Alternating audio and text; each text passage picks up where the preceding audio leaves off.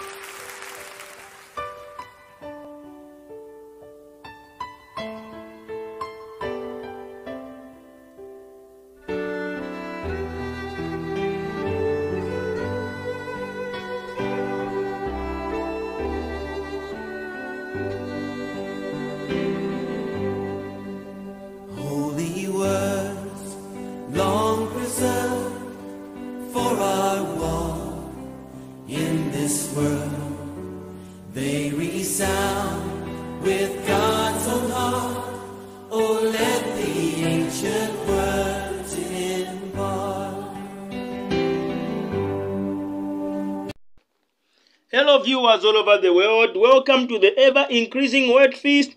Erick Habuwele is my name, and I'm here to explain to you Joel chapter 2, verse 25. And I can assure you that at the end of this message, you are going to be blessed. All I ask from you is don't forget to comment, subscribe, as well as to share this video on other social media platform. And I can assure you that at the end of this video, your life is never going to be the same. At the end of this video, you are going to testify. Now, the Bible says in the book of Joel, Joel chapter 2, verse 25, scripture says, And I will restore to you the years that the locust hath eaten, the cankerworms, and the caterpillar, and the palmerworm, my great army, which I sent among you. Now, when the Bible talked about the locust army, this is exactly what it meant. Locust swarm can destroy many acres of crops in short amount of time, devastating the livelihood of farmers and compromising a community food supply. Now, locusts, they are known for their propensity to gather in large destructive swarms. When locusts invade the nation, they cripple an agriculture area. Now, when we talk about agriculture, in the days of Israel, agriculture it was the area where they were gathering wealthy. In agriculture, most of the Israel it was known for farming. So you find that their strength was lying on farming. Once their crops has been destroyed, it means their economy will be crippled. It means everything about it, about it, the Israelites will be destroyed. Now, uh, swarms they can destroy crops in a short period of time this is how swarm this is how locusts they eat crops when they invade crops they eat it within a short period of time leaving it as if there was nothing that existed these are so destructive that anything along their way they destroy any greener pasture along their way they take out any greener pasture along their way they make sure that they don't leave anything. This is how they eat. Now, when we talk about locusts, locusts they are known for destroying green crops. They are known for destroying green leaves. Now, the, the Bible says in the book of Psalm, Psalm 23, verse 2, He maketh me to lie down in green pastures, He leadeth me beside the still waters. Now, green pastures, it represents glory. Green pastures, it represents attractiveness. When the crops are green, they look good. When the crops are green, they look glorious. But what these locusts they do, they make sure that any green crops, they take it away. Any green thing, they, they, they make sure that they, they, they, they destroy it, leaving it the ground plain. This is what they are capable of doing. And I don't know what the locust has done in your life. I am just here to assure you that the Lord is restoring that which the locusts have eaten. Again, the Bible talks about the cankerworm. Cankerworm, this pest feasts on bud and leaves of trees. Cankerworms are also called inchworms. Now, what does cankerworm eat? They like to eat leaves, especially leaves on hardwood tree like oak, maple, cherry, apple. When they are done, they will go back underground and re-emerge in the fall as moth. This cankerworm can cause significant damage to trees, often causing complete defoliation of trees. Cankerworm feeding can potentially kill the branch of the tree. they kill the branch of the tree. Now, when the Bible talks of the branch of the tree, hear what Jesus said in the book of John, chapter 15, verse 5. The scripture says, I am the vine, ye are the branches. He that abideth in me, and I in him, the same bringeth forth much fruit, for without me ye can do nothing. So, in the scripture, the, the, the, the, branch, it talks of you as a child of God. Now, cankerworm have got the potential to kill the tree to the point that the tree looks like this as if it never existed before. The tree looks so dry that the cankerworm have eaten anything that makes a tree a tree. But the Lord is restoring that which the cankerworm have eaten from your life. Again, the Bible talks of the caterpillar. Now, let's look into the life of the caterpillar. Caterpillar attacks several species of broadleaf trees and shrub, producing unsightly web or tent. When their population becomes large, the caterpillars can defoliate trees, stunting their growth. Now, what is the meaning of stunt? What is to stunt? Stunt means to stop, slow down, or hinder the growth or development of something. The Bible says, Whatsoever your hand finds to do, it will prosper. But things, when caterpillars are at work in your life, things becomes opposite to this scripture. You try to start a business, but all of the sudden it dies. You can't even trace why that business has died. The caterpillar is there to eat everything that you try to do. The Bible says anything or anywhere you step your feet to, you shall possess. But you find that when the caterpillar is at work in your life, everywhere you try to place your, your, your, your foot to, you are rejected. It's like you are vomited. You don't know what is happening. It is the caterpillar trying to eat the green leaves in your life. We said already, green it represents glory.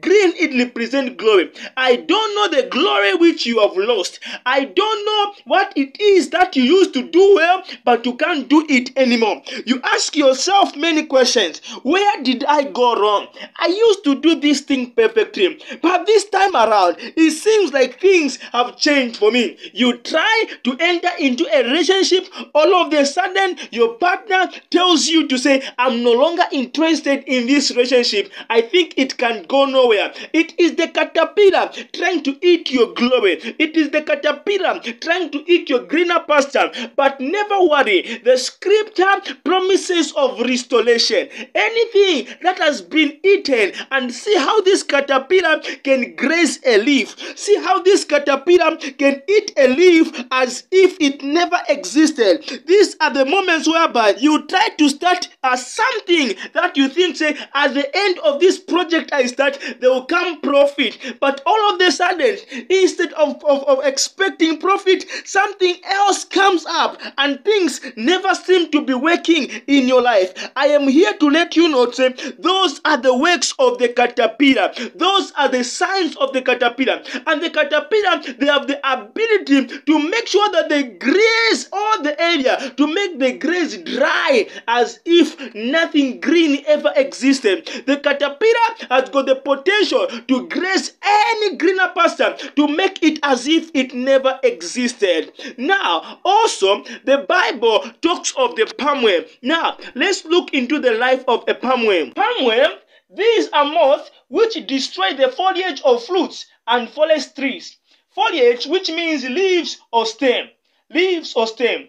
And we talked already, we said leaves they represent glory, leaves they represent beauty. When the tree has got leaves and those leaves are green, it looks good. Now, these palmerworm they do, they come and they destroy the leaves of the tree they destroy the green leaves of the tree. Again, it also destroys the stem of the tree. Now, when we talk about the stem, the stem, this is where minerals and waters passes through to all parts of the tree. Now, let me tell you something about a palmerworm. A palmerworm is a combination of two words, which is palmer and worm. Palmer and worm. Palmer and worm, putting them together, they mean palmworm. Now, Palmer means to wander or go idly from place to place. Or Palmer, it means a wanderer. And then worm is a destroyer.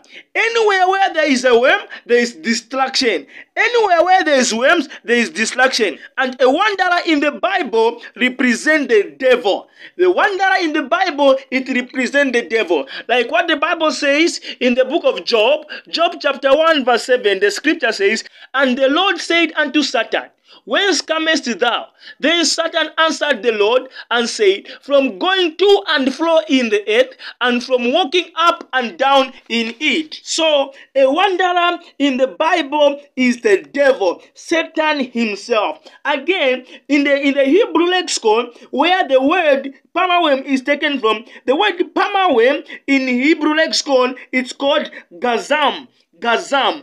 And Gazam, it means a devourer. It means a devourer. Like what the Bible says in the book of First Peter, chapter 5, verse 8. The scripture says, Be sober, be vigilant, because your adversary, the devil, as a rolling lion, walketh about, seeking whom he may devour. So the devil is the one who walketh about. The devil, he is a wanderer. He is going to and fro, seeking for whom he may devour. But lo and behold, nothing much to worry about. As for to you, a child of God, the Lord is promising restoration. He is saying anything that seemed dead in your life, the Lord is bringing it to life. Anything that seemed like it is not going anywhere, the Lord is restoring. All the years that the cankerworm, the caterpillar has eaten, the Lord is saying new glory is appearing, new life is appearing, new greener pasture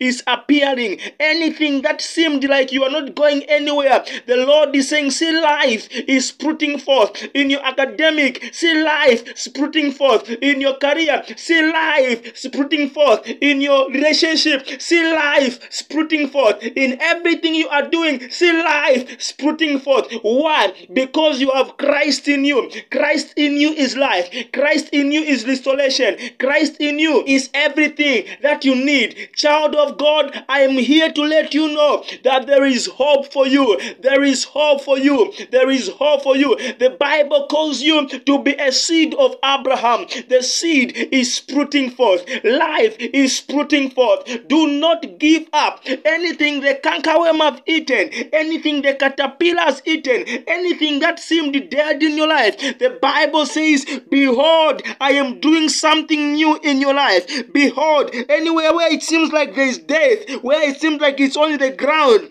the Lord is causing slabs, the Lord is causing greener pasture to appear. Your life is never going to be the same again. The Lord has promised restoration. The Lord is saying, See, all the greener pastures which were eaten by the locust, by the swarm, I'm restoring. All the glory, all the attractiveness which you had, I'm restoring. All the trees that were destroyed by the cankerworm, the Lord has promised restoration. All the leaves that were eaten by the cankerworm, the Lord has promised restoration. Thank you for watching. Don't forget to comment, subscribe, as well as to share this video. God bless you. Shalom, shalom which were supposed to imbalance you. I said already, there is no future for a lazy believer. There is no future for a lazy Christian. If you want your life to be secured, commit it to prayer. Commit it to prayer. Praying in tongues is very important. You are fixing things.